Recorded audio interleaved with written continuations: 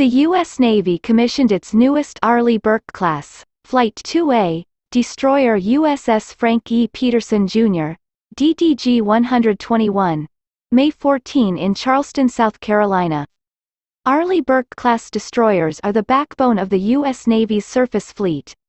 These highly capable, multi-mission ships conduct a variety of operations, from peacetime presence to national security providing a wide range of warfighting capabilities in multi-threat air, surface and subsurface.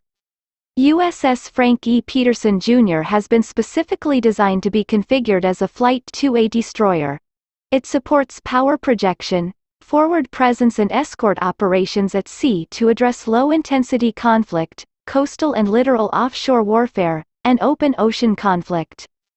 Armament 1 times 5 inches, 127 millimeters, 54 caliber Mk45 naval gun 2 times 25 mm Mk38 autocannons 4 times .50 caliber, 12.7 millimeters, machine guns 1 times 20 mm phalanx CIWS 2 times Mk32 triple torpedo tubes for Mk46 torpedo 96 cell Mk41 VLS for use of RIM-66M Standard Missile BGM-109 Tomahawk RUM-139 Vertical Launch ASROC also aircraft carried two Seahawk 60 Seahawk helicopters aviation facilities double hangar and helipad.